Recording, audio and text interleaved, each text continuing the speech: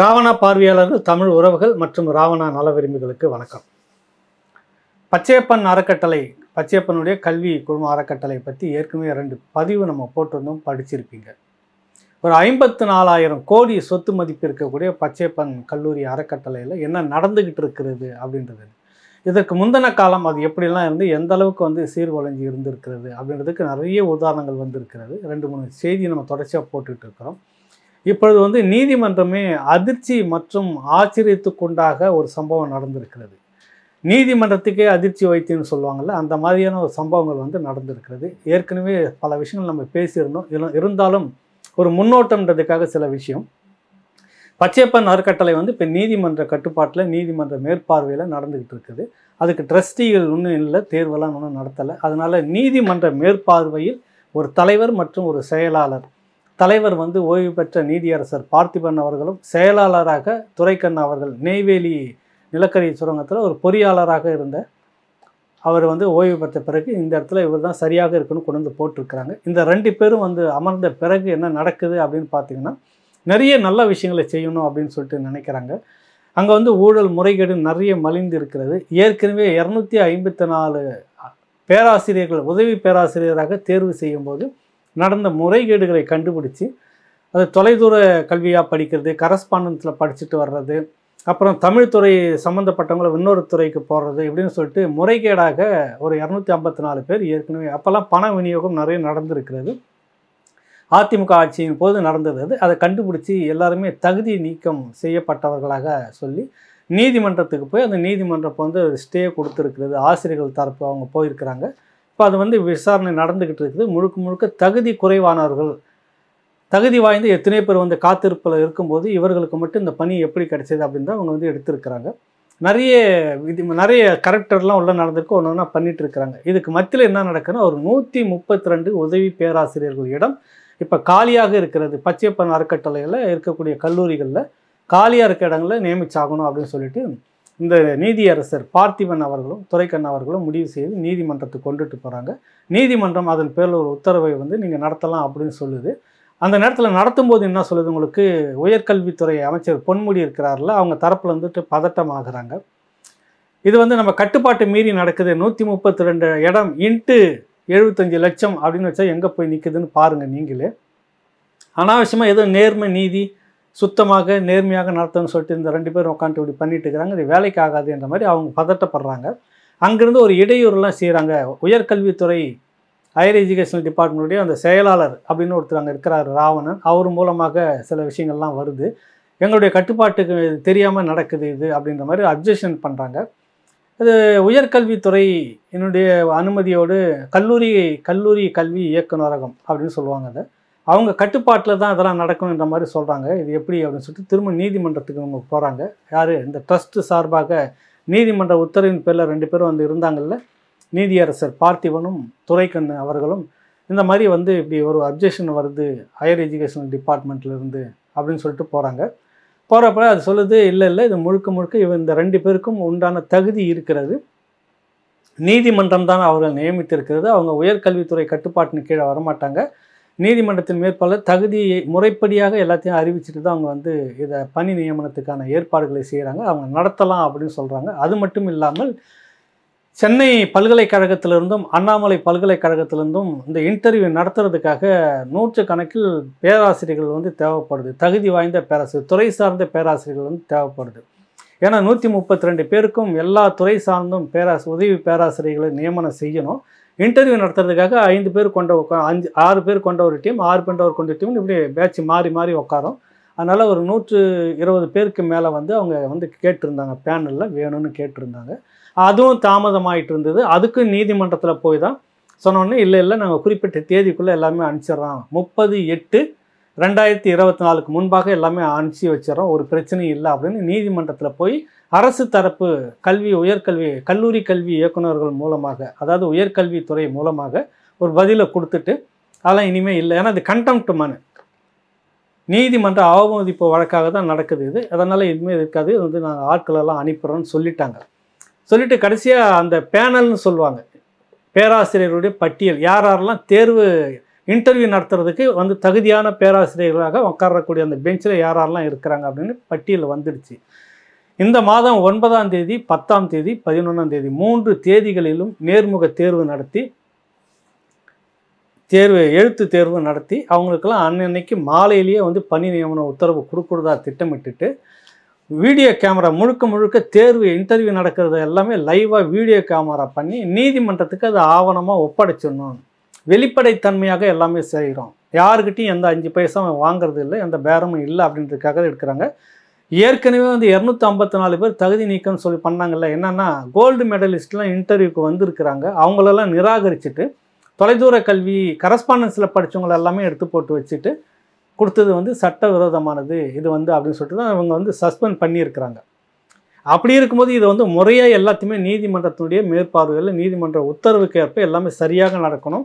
அதுக்கு யூஜிசின்னு சொல்லக்கூடிய அந்த குழு மூலமாக பேனல் வச்சு அரசு தரப்பு அங்கீகாரத்தோடு அது நடக்கணும். அப்போ தான் முறையான பேராசிரியர்கள் வந்து தேர்வை நடத்தணும் நீதிமன்ற உத்தரவின் பேரில் அப்படின்னு எல்லாம் சரியாக செய்கிறாங்க கேமராக்கள்லாம் எல்லாம் ரெடி பண்ணி எல்லாம் வச்சு நீதிமன்றத்தினுடைய மேற்பார்வையில் கேமராலாம் வீடியோ பதிவு பண்ணணும் செய்யும்போது அந்த ஏற்பாடெலாம் ஒரு பக்கம் நடந்துக்கிட்டு இருக்குது. ஒன்பதாம் தேதி திங்கக்கிழமை.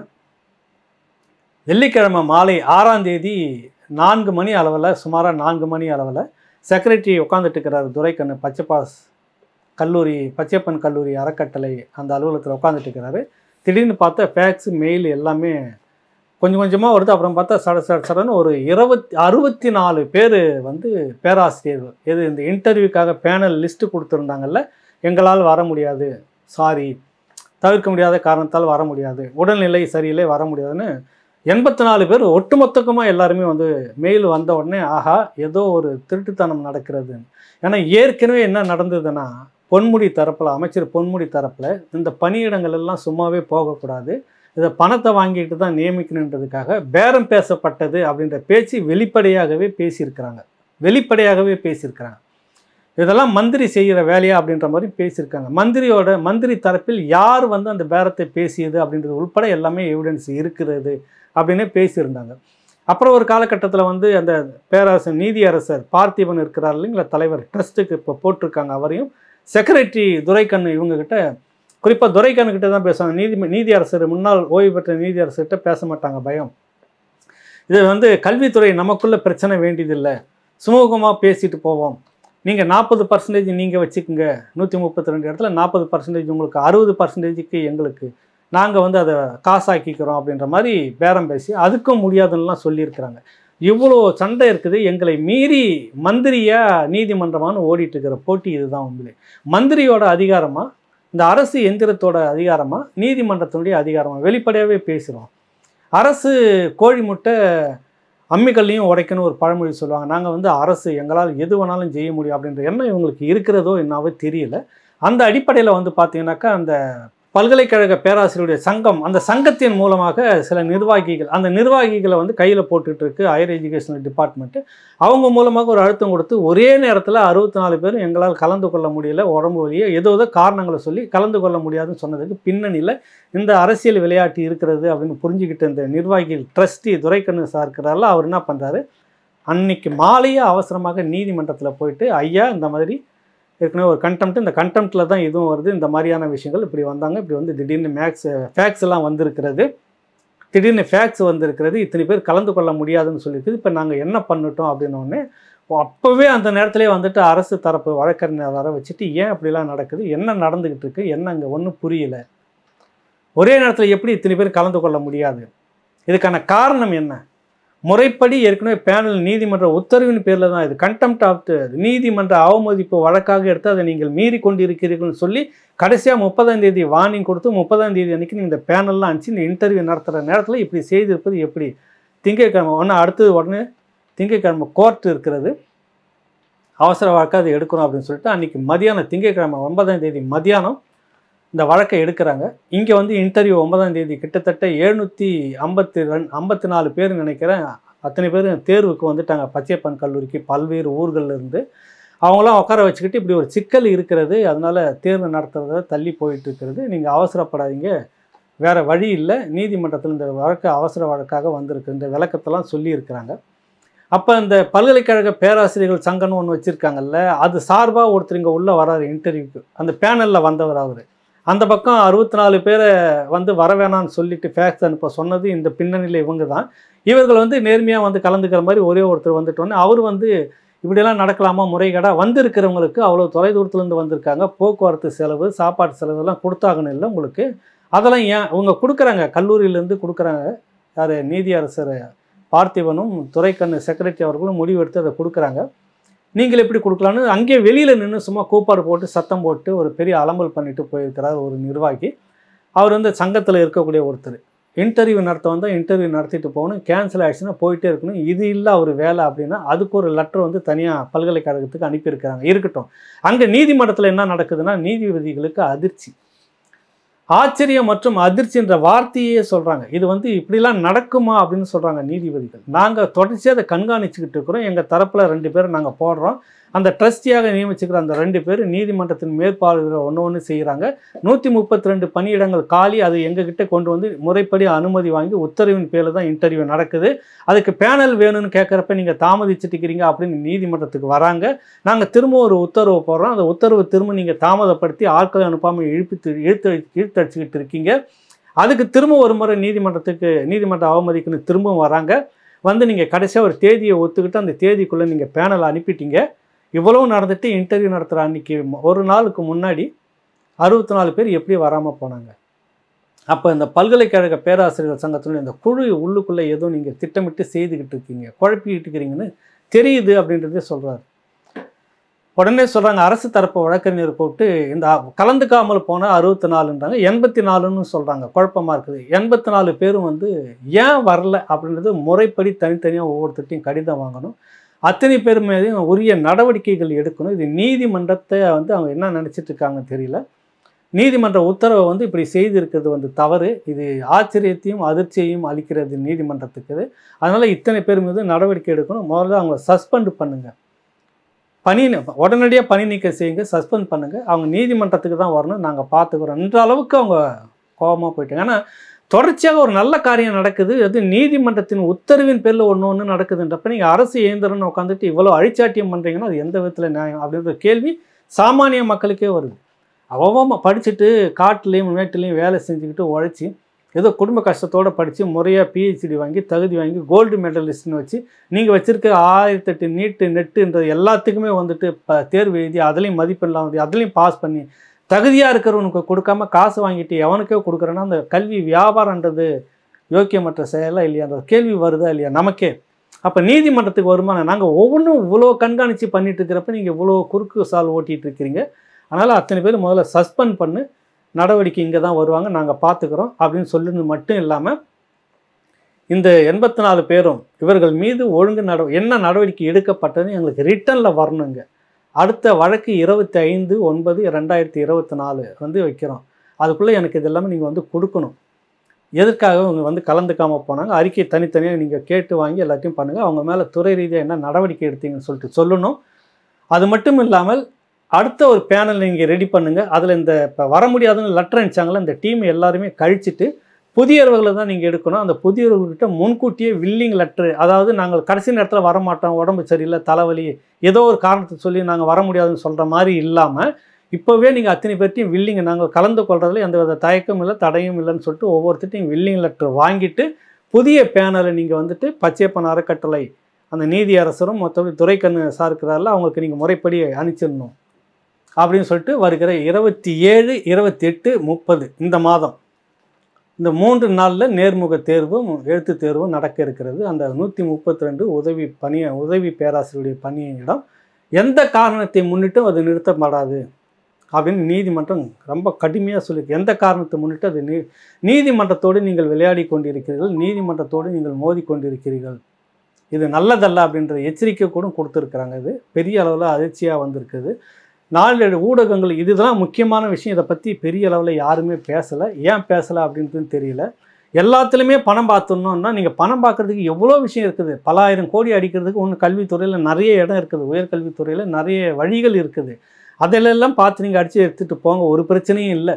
யாரும் கேட்க போகிறதில்ல ஆனால் ஒரு பணி நியமனன்றதுக்கு படிச்சுட்டு தகுதி வாய்ந்த இத்தனை இத்தனை பேர் இருக்கிறாங்க? எழுநூற்றி ஐம்பத்தி நாலு பேர் தேர்வு செய்து இப்போ கூப்பிட்டுருக்குறாங்க. அப்போ அப்ளிகேஷன் எவ்வளோ வந்திருக்குன்னு பாருங்கள் தகுதியாக இருக்கக்கூடிய எழுநூற்றி ஐம்பத்தி நாலு பேரை கூட்டிருக்காங்க. அதில் நூற்றி முப்பத்தி ரெண்டு பேரை எடுக்கணும். எவ்வளவு எதிர்பார்ப்போட காத்துட்டு இருப்பாங்க இத்தனை ஆளுகளும்? எனக்கு தெரிந்து நான் ஏற்கனவே பதிவு பண்ணியிருக்கிறேன். பிஹெச்டி முடித்து முனைவர் பட்டம் பெற்ற பலரும் வந்துட்டு இன்றைக்கி கூலி வேலை செய்துட்டு இருக்கிறாங்க கட்டட வேலை செய்துட்டு இருக்கிறாங்க. ஒரு பத்து ரூபா பாஞ்சு ரூபாய்க்கு ரொம்ப மோசமான ஒரு வேலையில் போய் செய்துட்டு இருக்கிறாங்க. ஏதோ ஒரு விதத்தில் குடும்பத்தை காப்பாற்றணும் படிச்சுட்டு இப்படியே இருக்க முடியாதுன்ற ஒரு இத்தனை சங்கடங்களுக்கு மத்தியில் காத்துட்டு இருக்கிறவங்க எப்பொழுது வேலை கிடைக்கும்? இவங்ககிட்டலாம் போயிட்டு எழுபத்தஞ்சு லட்சம் ஐம்பது லட்சம் பேரம் பேசி சீட்டு வேலையை வாங்கிட்டு போகிறதுக்கு எங்கே இருக்குது காசு? அப்போ இருக்கப்பட்டவன் தான் காசை கொண்டு வந்துட்டு செய்வான். இருக்கப்பட்டவன் தான் தகுதி இருக்காது அவங்ககிட்ட. இருக்கப்பட்டவங்க எல்லாமே தகுதி இருக்காதுன்னு நான் சொல்ல வரல.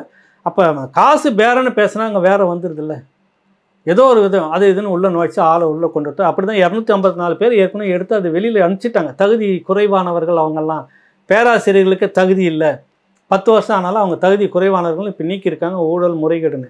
அந்த மாதிரி இந்த நூற்றி முப்பத்தி ரெண்டு இடமும் இப்போ நியமிக்கப்பட்டது. எதிர்காலத்தில் யார் ஒருத்தரோ வந்து இவர்கள் தகுதி குறைவானவர்கள் தகுதி நீக்க செய்யணும்னு இன்னொருத்தர் நடவடிக்கை எடுத்துடக்கூடாது.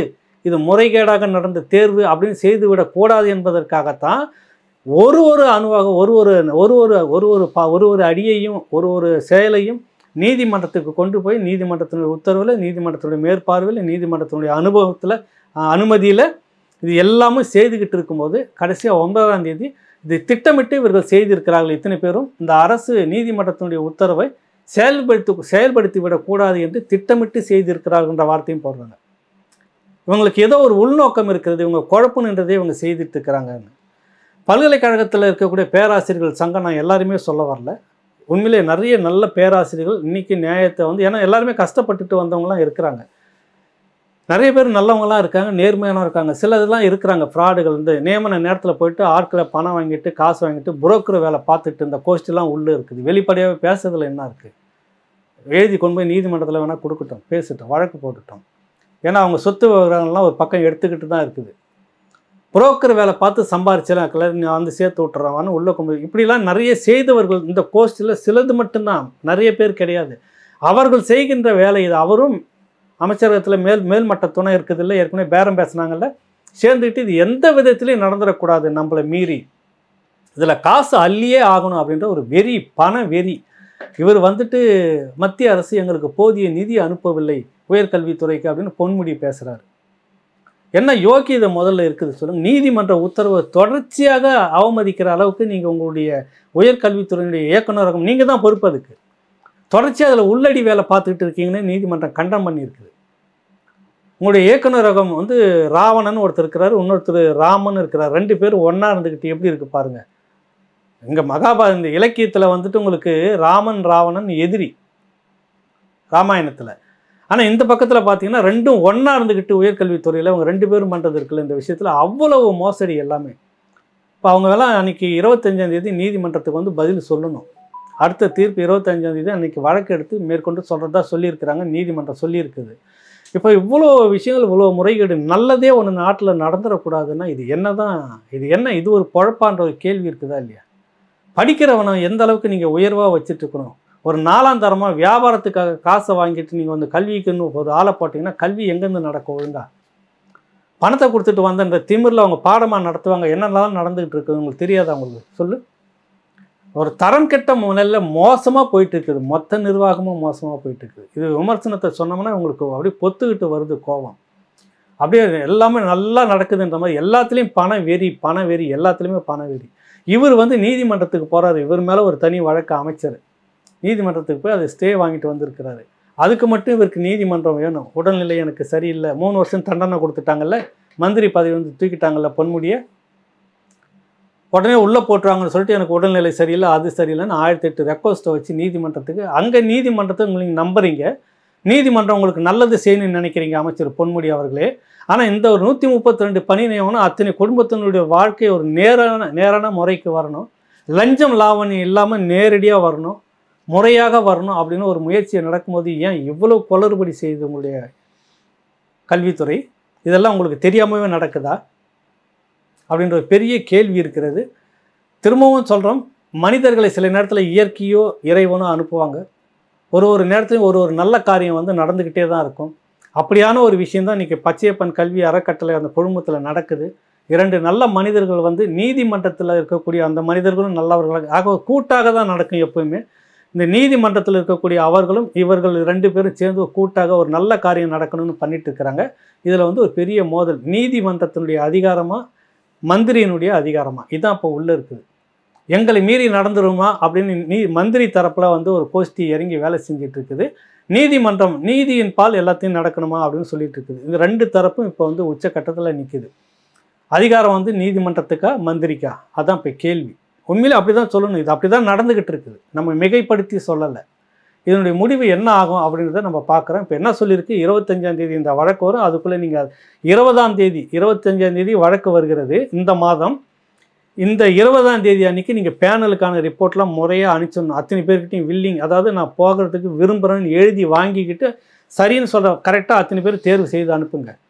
இல்லை அதுக்கெல்லாம் எங்ககிட்ட ஆள் இல்லைன்னா அப்புறம் எதுக்கு யூனிவர்சிட்டி இழுத்து மூடிட்டு போயிடலாமே? தகுதி இல்லாத நபர்களை எதுக்கு வச்சுட்டு இருக்கிறீங்க கேள்வி வருதா இல்லையா? அப்போ அந்த அத்தனை பேர்ட்டும் வாங்கி இருபதாம் தேதி நீங்கள் கடிதத்தை கொடுத்துடணும். பேனல் இன்டர்வியூக்கு அவங்க தேதியெல்லாம் வந்துடணும். இன்டர்வியூ வந்துட்டு இருபத்தாறு இருபத்தி இருபத்தி ஏழு இருபத்தெட்டு முப்பது அந்த மூணு நாளில் இன்டர்வியூ நடக்கும். இதுக்கு மத்தியில் இருபத்தஞ்சி இந்த மாதம் இருபத்தி ஐந்தாம் தேதி செப்டம்பர் மாதம் இருபத்தி ஐந்தாம் தேதி இந்த வழக்கு திரும்பவும் நீதிமன்றத்துக்கு வரும்னு கடுமையாக சொல்லியிருக்கு நீதிமன்றம். திரும்ப திரும்ப சொல்கிறோம் இந்த அரசு இயந்திரம் அரசு அதிகாரன்ற திமிரில் வந்து நீதிமன்றத்தோடு மோதுற அந்த போக்கு வந்து என்றைக்குமே நிலைச்சது இல்லை. காலம் வரலாற்று நிறைய புரட்டி போட்டிருக்கிறது. நீதி தான் எப்பவுமே நிலையானது. வாய்மையே வெல்லுன்னு சொல்லுவாங்களோ அது எந்த காலத்தில் இருந்தாலும் கட்டாயம். சோதனைகள் நிறைய வரும். வேதனைகள் நிறைய வரும். உச்சக்கட்டத்தில் வாய்மையே வெல்லும் அப்படின்னு சொல்லுவாங்க. நீதிமன்றம் அப்படியான ஒரு இடம். சில நல்ல மனிதர்கள் இருந்துக்கிட்டும் நல்ல ந- நல்லது நடக்கணும் அப்படின்னு சேர்ந்து செய்யும்போது சட்டத்தின்படியே எல்லாம் நடக்கணும்னு செய்யும்போது பண ஆசை பிடிச்சி அதுக்கு முட்டு கொடுத்துட்டு இவ்வளவு களவற்றை வேலையை செய்யும்போது இங்கே அதிகார போட்டி நீதிமன்றத்தினுடைய அதிகாரமாக மந்திரியோட அதிகாரமானு இருக்குது. இதனுடைய தீர்ப்பு என்னன்றது இருபத்தஞ்சாம் தேதி பார்ப்போம் காத்திருப்போம். நன்றி வணக்கம். இன்னொரு முக்கியமான விஷயம் இந்த ரெண்டு நிகழ்ச்சி. மருத்துவர் ஒரு சட்ட வல்லுநர் ரெண்டு பேருக்கான ரெண்டு நிகழ்ச்சி. அதிலே வந்து அந்த கேள்வியை கேட்பதற்கான இமெயில் இமெயில் முகவரி வாட்ஸ்அப் எண்ணும் கொடுத்துருக்கேன். உங்களுடைய கேள்விகளை அதில் அனுப்புங்க மறக்காமல் நன்றி வணக்கம்.